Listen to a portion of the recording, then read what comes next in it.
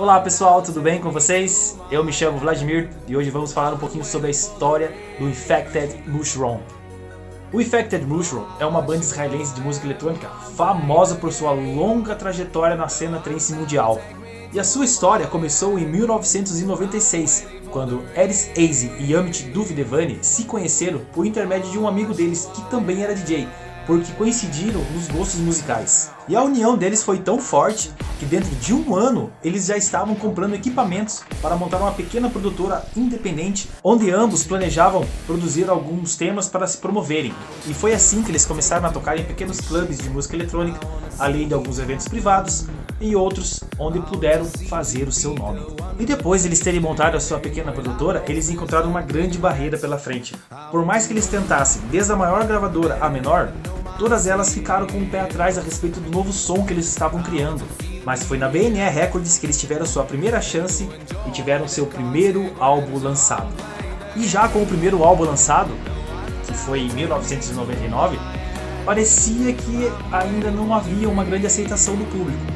Mas com o passar do tempo e logo no final do ano, eles receberam a notícia que as vendas começaram a decolar.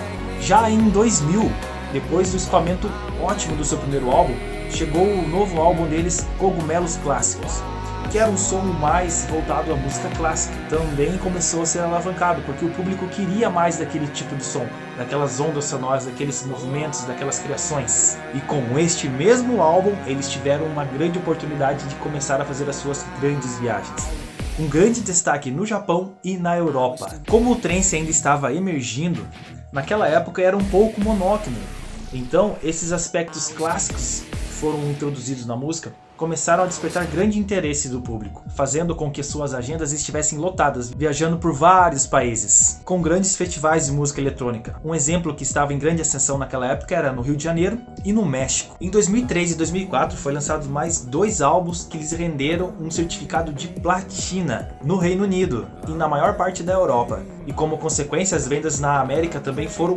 excelentes. E um de seus álbuns mais bem elaborados, segundo eles, é o Vícios Delícios, onde eles apresentaram uma mix incrível de hip hop, flamenco, rock, pop e hardcore metal. E Eris e Amit ainda continuam trabalhando muito duro para levar o que há de melhor para os seus fãs dia após dia em todos os cantos ao redor do mundo. Espero que vocês tenham gostado. Em breve tem mais vídeo no canal.